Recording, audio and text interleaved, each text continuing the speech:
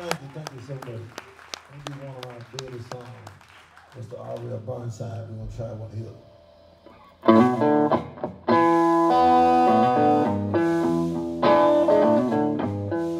He said, heard this woman gonna leave me, but he heard her feast when she was going on the bridge.